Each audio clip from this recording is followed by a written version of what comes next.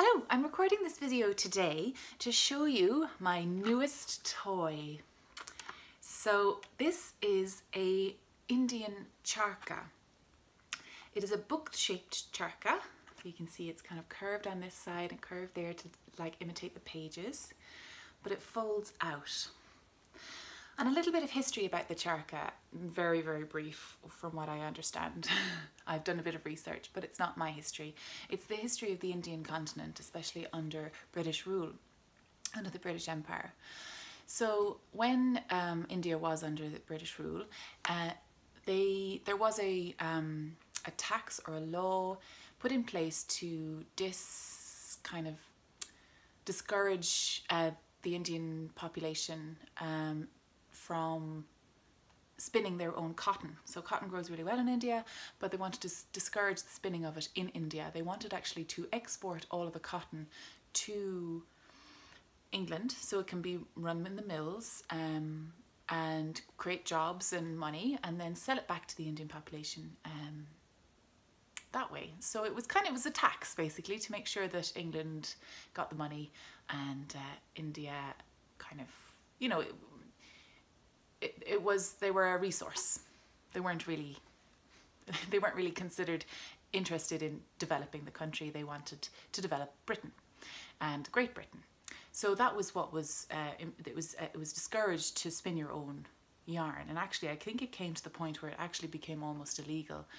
Um, so that's why these small little spinning wheels, this is a spinning wheel, were invented. Um, Gandhi was a big um, he pushed the idea of spinning your own yarn, becoming independent, but by peaceful means. So, spinning your own fiber, spinning your own yarn, and then weaving your own garments was a very peaceful way of um, kind of fighting back against British rule.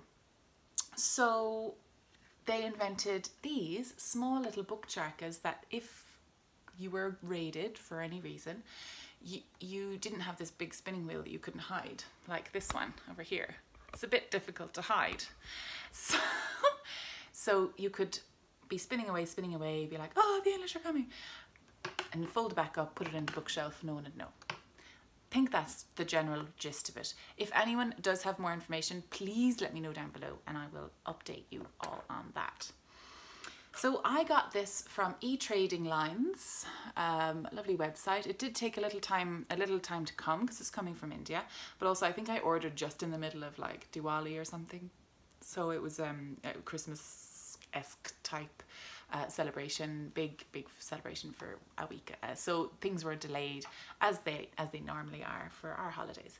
So um, this is the basic charkha set. It was a hundred dollars and then the uh, American dollars. And then I ordered three extra spindles and about 50 rolags or 100 rolags or poonies of cotton just because I didn't know where to get them. So it all came as a kit for about $149. Shipping was about, um, I think it was $73.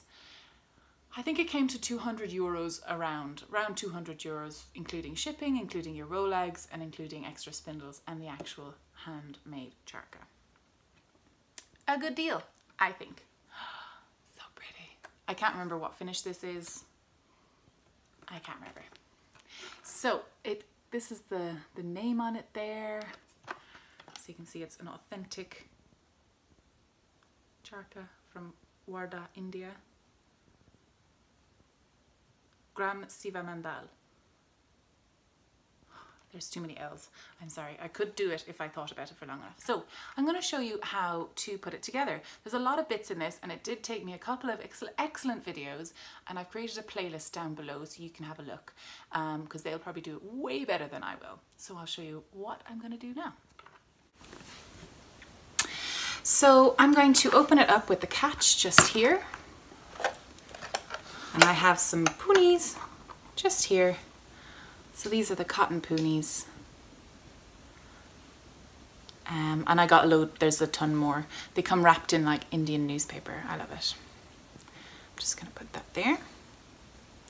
So we have a large wheel, a smaller wheel, it's called an accelerator, and then you have your spindle. You have I have three spindles over here. This is the spindle that I have been working on. So I'll start from this side. So the large wheel has a little handle, it's an aluminum handle, and it attaches on just here. It's quite neat. And there's a little catch that you just catch in there just to attach it in. This little handle is uh, loose and it's a really nice shape for your fingers to hold on to. It's triangular. Now these are connected.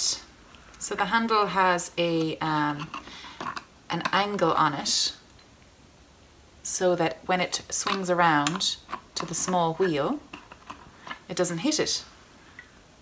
It's really well engineered, I do love it. So this is a hemp cord. Um, on the more expensive models, you get a, um, a kind of a polyester cord.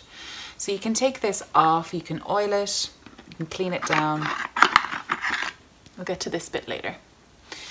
So there's a little pulley under here. It's a very small pulley. And um, this accelerates the wheel.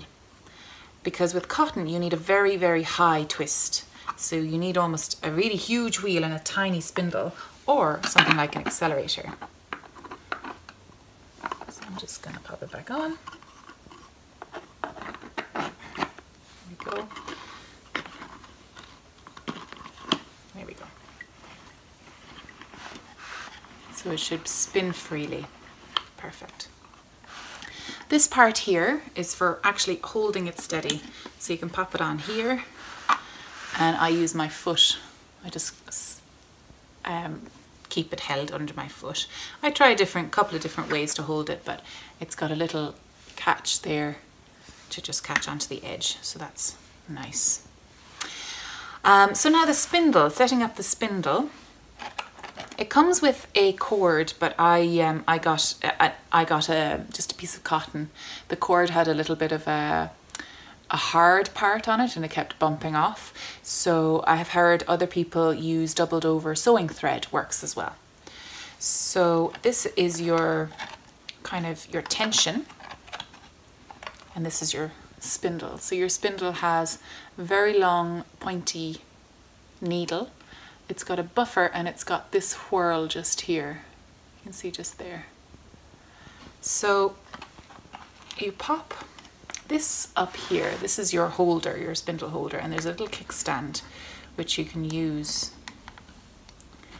to hold it upright while you're setting everything up. Little kickstand just there. That's handy. It is on a very, very tight spring. And I'm going to wrap my extra cord around the accelerator wheel and then if I want to, I think it's, oh, I can't remember. I can never remember if it's clockwise or anti-clockwise. I think it's, anyway, we'll find out.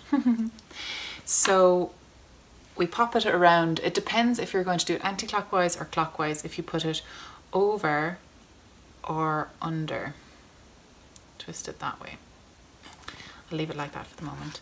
So you can see these cords here, they're, they're, this is actually just a kind of a buffer just to protect um, the yarn, or just to protect the spindle. This You can move it around so that it doesn't um, so that it doesn't wear out over time, but you can also replace it with just some normal threads as well. Everything in this kit is very replaceable with other normal stuff. So you just put it down and you put it over. You can see that's just resting over that. That's just resting on top of it. You don't thread the spindle through those, you just let it over. So, and I'm just going to bring up that little kickstand so that then that's under proper tension now. So just tuck those away. And that's how you start spinning basically. I'm going to just um, give it a little test and see where I am.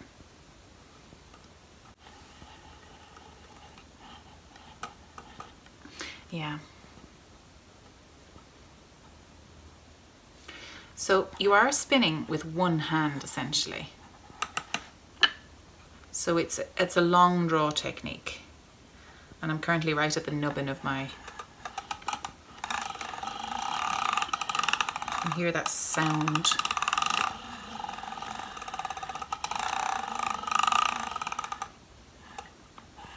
And then you go backwards and you spin it onto your spindle. So that is how you put it together. Now, there are a few extra bits in here which are were a little bit of a mystery, but I figured them out after a while.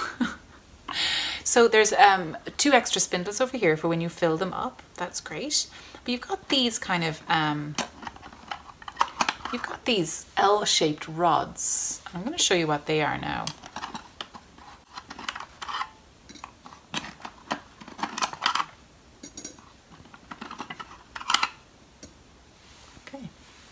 Now you got this piece here, which is,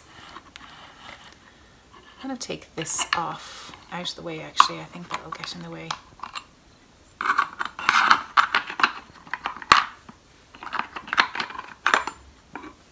This comes off. And it's got two little pins here and they, those two little pins are going to go onto this top of the accelerator wheel. I'm just going to take off the accelerator.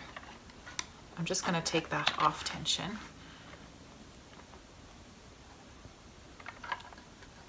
I wonder do I actually because that comes up like that. Yes, yes that comes out. I'll take that off altogether and these go into the sides. They have little edges here little holes that they all go into. And you're creating a swift. So it's a skeiner that is actually built into the charkha. So you can, you can spin your yarn and you have a skeiner inside in the charkha itself. It is the most useful, compact item I've ever seen. And of course it's built for people who work. This is a work item, you know. So what you do is you get your your spindle. This is going to be a full spindle, let's pretend. And you pop it down here. You thread this through. I'm just going to flatten this down. There we go.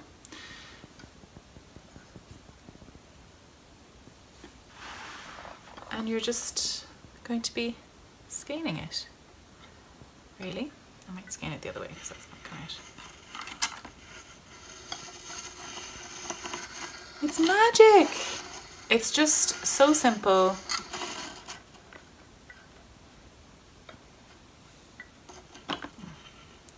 It's very simple. I do love it. And this is when you see if you're if you've put enough twist into your cotton. No, obviously not. but that is my little charkha. I think it's adorable. So I'm going to show you some super classy spinning now and uh, I hope you've enjoyed this little video. Bye.